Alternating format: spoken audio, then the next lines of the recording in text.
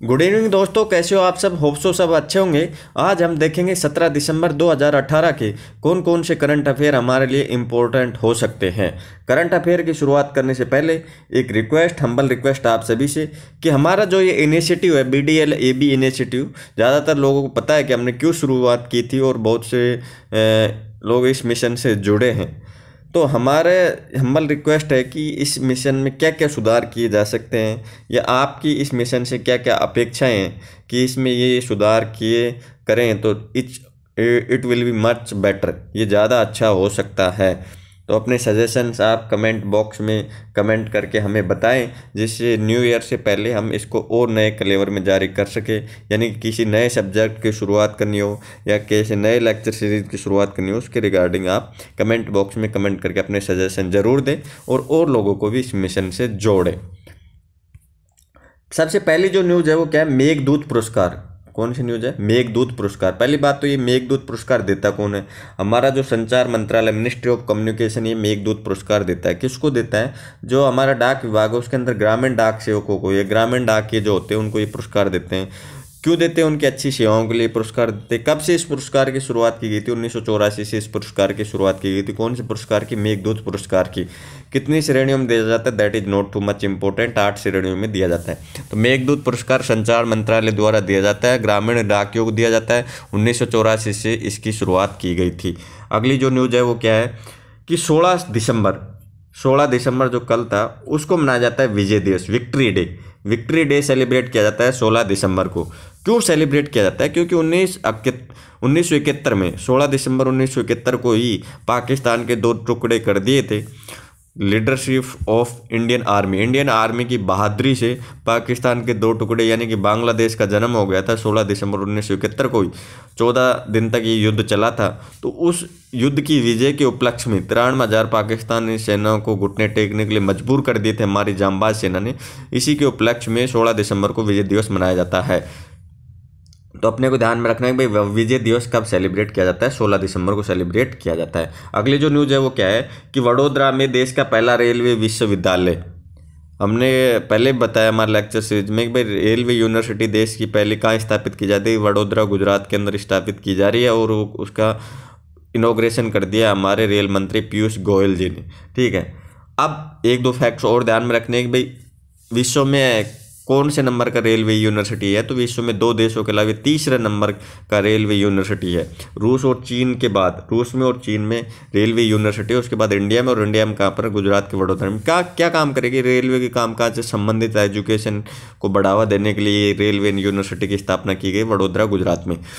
अगले जो न्यूज़ है that is very important news और इसके लिए तो पीवी सिंधु मैम को पूरी तरह से सल्यूट हमारे टीम की तरफ़ से और आप सबको भी सल्यूट करनी चाहिए, क्योंकि इससे एक मोटिवेशन मिल सकता है कि जब हम बार बार किसी चीज़ से असफल होते हैं या फिर बार बार असफल होते जाते हैं तो पीवी सिंधु मैडम की विक्ट्री से हम सीख सकते हैं। पीवी सिंधु ने विश्व चैम्पियनशिप विश्व चैम्पियनशिप जीती है टेनिस की, जो सॉरी बैडमिंटन की। बैडमिंटन विश्व चैंपियनशिप जीत ली है और उस उन्होंने किसको हराया है? Nozomi, Nozomi Okuhara.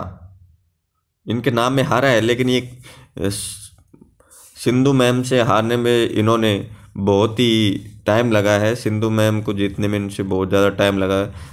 Nozomi Okuhara. तो नोजुमी ओकुहारा को हरा दिया पीवी सिंधु ने और सातवें अटैम्प्ट में हरा पाई हैं। पीवी सिंधु, नोजुमुई ओकुहारा को सातवें अटैम्प्ट में हरा पाई, यानी कि इसे पहले छः बार पीवी सिंधु नोजुमी ओकुहारा से हार चुकी है। जापान की है ये नोजुमी ओकुहारा तो सिंधु ने उनको हरा करके world champ, world tour final जीत लिया है और वर्ल्ड टूर फाइनल बैडमिंटन का जीतने वाली ये विश्व की विश्व वर्ल्ड बैडमिंटन टूर फाइनल जीतने वाली भारत की पहली महिला है पीवी सिंधु। और इसके लिए हमारे जो बैडमिंटन फेडरेशन है, उन्होंने दस लाख रुपए देने की भी घोषणा की है। तो ये अपने को ध्यान में रखना है कि भाई नोजूमी ओकुहारा को हराया और जापान की है और छः, सातवें अटैम्प्ट में इनको हराया तो सातवीं बार अटैम्प्ट करके इन्होंने विजय हासिल किए पीवी सिंधु ने। तो ये फैक्ट्स अपने को ध्यान में रखना है कि जापान के हैं कौन? Nozomi Okuhara. इसके अलावा वर्ल्ड कप हॉकी चल रहा है हमारे इंडिया के अंदर, कहाँ पर चल रहा है? उड़ीसा के कलिंगा स्टेडियम में, कलिंगा स्टेडियम पूछा जा सकता है, कहाँ पर सिचुएटेड है तो उड़ीसा के भुवनेश्वर में स्थित है कलिंगा स्टेडियम और उसके फाइनल में। बेल्जियम ने किसको हरा दिया है? नीदरलैंड को। नीदरलैंड या होलैंड ने भारत को हराया था क्वार्टर फाइनल में और बेल्जियम ने नीदरलैंड को हरा दिया है और पेलेंटी शूट आउट से मुकाबला जीता है। तो विश्व कप में पहली बार पेलेंटी शूट आउट हुआ है। ओके, विश्व कप में पहली बार पेलेंटी शूट आउट हुआ है फाइनल के अंदर और इस मुकाबले को जीता है किसने? बेल्जियम तो ये ध्यान रखना है कि विश्व कप कहाँ हुआ इंडिया के अंदर। हॉकी विश्व कप और उसको जीता किसने? बेल्जियम ने और किसको हराकर जीता है? नीदरलैंड को हरा कर जीता है। तो ये फैक्ट्स अपने को ध्यान में रखने हैं। अगली जो न्यूज़ है, वो क्या है? नोनी ब्रिज। कौन सा bridge? Noney Noney bridge पहली बात तो कहाँ पर है? मणिपुर में। मणिपुर में कौन सी नदी के किनारे बनाया जा रहा है? इजाई नदी के किनारे। कौन सी नदी के किनारे बनाया जा रहा है? इजाई नदी के किनारे ये बनाया जा रहा है। किसके द्वारा बनाया जा रहा है? जो नॉर्थ फ्रंटियर रेलवे है एनएफआर नॉर्थ फ्रंटियर रेलवे है, उसके द्वारा ये ब्रिज बनाया जा रहा है और विश्व का सबसे लंबा रेलवे पुल है। विश्व का सबसे लंबा रेलवे पुल है, कितना मीटर लंबा है? एक सौ बयालीस मीटर लंबा है। तो नोनी ब्रिज ध्यान में रखना कहाँ बनाया जा रहा है? मणिपुर में बनाया जा रहा है। कौन सी नदी किनारे? इजाई नदी किनारे पर और ये विश्व का सबसे लंबा रेलवे पुल है। नॉर्थन फ्रंटर रेलवे के द्वारा बनाया जा रहा है और इसकी ऊंचाई कुतुब मीनार से भी दोगुना है। मणिपुर को भी जो हमारे इंडिया के बाकी से उससे कनेक्ट करेगा, कौन सा? ये नोनी ब्रिज। कुतुब मीनार दुनिया की सबसे लंबी मीनार है। ईंट से बनी हुई सबसे लंबी मीनार कुतुब मीनार है, जो कुतुबुद्दीन ऐबक के द्वारा बनाई गई थी और दिल्ली में ये स्थित है। अभी विश्व का सबसे लंबा ब्रिज कहाँ पर है? तो यूरोप में है माला रिजे का वायाडक्ट। कौन से डक्ट माला रिजे का वायाडक्ट, जो सबसे लंबा ब्रिज एक मीटर उसको तोड़ करके हमारा नोनी ब्रिज सबसे लंबा ब्रिज बन जाएगा। माला रिजू को वायडक को रिकॉर्ड को ब्रेक करके। तो ये अपने को फैक्ट ध्यान में रखना है, इजाई नदी, नणीपुर और नोनी ब्रिज अगली जो न्यूज़ है, वो क्या है कि राइज रिपोर्ट जारी की। राइज रिपोर्ट ठीक है? सस्टेनेबल एनर्जी की जो राइज रिपोर्ट है regulatory index on sustainable energy RISE report पहली बात तो जारी कौन करता है? विश्व बैंक जारी करता है वर्ल्ड बैंक जारी करता है। बस इतना ध्यान रखना है कि भाई राइज रिपोर्ट है regulatory index of sustainable energy किसके द्वारा जारी की जाती है? वर्ल्ड बैंक के द्वारा जारी की जाती है। इसके अंदर कितने देश शामिल किए गए? वन थर्टी थ्री देश शामिल किए गए, एक सौ तैंतीस देश शामिल किए गए। और उनके अंदर बिजली का उपयोग, इसके अलावा नवीकरणीय ऊर्जा ऊर्जा दक्षता के आधार पर ये रिपोर्ट जारी की जाती है। और इसमें देखा गया है कि भाई, विश्व ने 2018 में विश्व के देशों ने नवीनीकरण ऊर्जा की तरफ़ जबर, बहुत ही अच्छा उत्साह से कदम बढ़ाए। तो अपने को ध्यान में रखना है कि भाई, राइज रिपोर्ट किससे संबंधित है? सस्टेनेबल एनर्जी से संबंधित है? कौन जारी करता है? विश्व बैंक जारी करता है। इसके अलावा मिस यूनिवर्स प्रतियोगिता आयोजित की गई है 2018 और उसको जीता किसने? फिलीपींस की कैट्रियोना ग्रे ने। कैटरीना कैप से ध्यान रख लो। Catriona Gray. Catriona Gray Miss Universe खिताब जीती हैं 2018 का। 2017 का खिताब जीता था डेमिले नेले। डेमिले नेले ने जीता था। तो कैटरीना से कैट्रियोना ध्यान रखना, मिस यूनिवर्स खिताब 2018 फिलीपींस की ने जीता है और बैंकॉक में ये प्रतियोगिता आयोजित की। इसके अलावा हमारा नीति आयोग 16 दिसंबर को women, women transforming India awards की घोषणा की, वोमन ट्रांसफॉर्मिंग इंडिया अवार्ड। तो पहली बात तो हमें ध्यान रखना है कि वोमन ट्रांसफॉर्मिंग इंडिया अवार्ड कौन देता है? नीति आयोग देता है। ठीक है, इसके अलावा उन्होंने वोमन एंटरप्रेन्योरशिप प्लेटफॉर्म की भी शुरुआत की, वोमन उद्यमिता प्लेटफॉर्म। तो वुमन एंटरप्रेन्योरशिप प्लेटफॉर्म किसने लॉन्च किया? नीति आयोग ने लॉन्च किया है, ठीक है? और इस बार की जो थीम थी वो क्या थी? Women and entrepreneurship. इस बार की जो थीम थी इसकी वुमेन ट्रांसफॉर्मिंग इंडिया, जो प्राइज इसकी थीम थी वुमेन्स एंड एंटरप्रेन्योरशिप। और इस बार क्या नीति आयोग ने क्या लॉन्च किया? Women entrepreneurship platform. इसके अलावा जो अगली न्यूज़ है वो क्या है कि मार्कर वेडन मार्कर वेडन, कौन सा वेडन? मार्कर और वेडन। मार्कर वेडन क्या है कि मार्क, मार्कर मेरे झील है। मार्कर मेरे झील है कहाँ पर? नीदरलैंड में। तो वहाँ पर जो वाइल्ड लाइफ है वन्य जीव के संरक्षण के लिए कृत्रिम द्वीप बनाए और उन कृत्रिम द्वीपों का नाम क्या है? मार्कर वेडन। तो हमें ध्यान में रखना है कि नीदरलैंड की मार्कर मेरी झील में कृत्रिम द्वीप बनाए गए हैं आइलैंड्स बनाए गए हैं वन्य जीवों के लिए उनका नाम क्या है? मार्कर वेडन।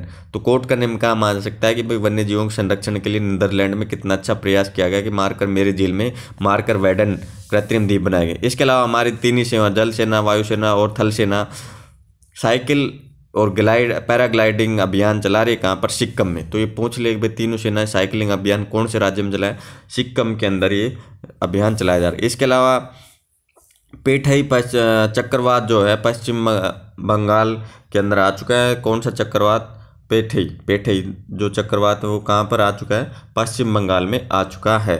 अभी चक्रवात क्या होता है? थोड़ा सा लिटिल बिट देख लो। साइक्लोन क्या होता है? साइक्लोन बेसिकली होता है कि जो तेज़ हवाएँ चलती है और उसके अंदर लो दाब के अंदर सेंटर में क्या होता है? कम दाब होता है और उस कम दाब के चारों तरफ़ तेज़ हवाएँ चलती है और उसको बोलते हैं साइक्लोन ये क्या होता है कि जब उत्तरी गोलार्ध जो है नॉर्दर्न हेमिस्फीयर में तो इन हवाओं की दिशा होती है, इस कम दाब के केंद्र के चारों तरफ़, वो होती है घड़ी की विपरीत दिशा में एंटी क्लॉकवाइज और जो दक्षिणी गोलार्ध है साउदर्न हेमिस्फीयर उसके अंदर इनकी जो दिशा होती है, वो होती है क्लॉकवाइज किनकी? चक्रवाती हवाओं की। ठीक है, भूम, चक्रवात किसकी वजह से होती है? कोरलस कोरोलोसिस बल होता है। कौन सा बल? कोरोलोसिस। कोरोलोसिस बल की वजह से चक्रवात उत्पन्न होते हैं और भूमध्य रेखा पर, क्योंकि कोरोलोसिस बल ज़ीरो होता है तो भूमध्य रेखा पर ये चक्रवात उत्पन्न नहीं होते। विशेषकर उस उष्ण कटिबंधीय चक्रवात। तो पश्चिम बंगाल में कौन सा चक्रवात आ रहा है? पेठे चक्रवात पश्चिम बंगाल में आ रहा है। That is our today lecture seize आज के क्वेश्चन सबसे जो पहला क्वेश्चन है, वो क्या है?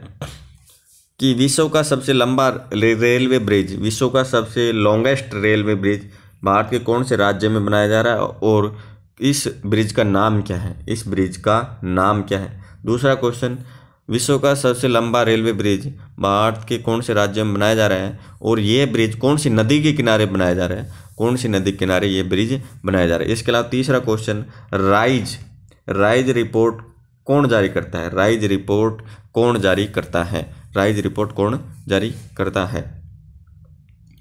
PV Sindhu PV Sindhu,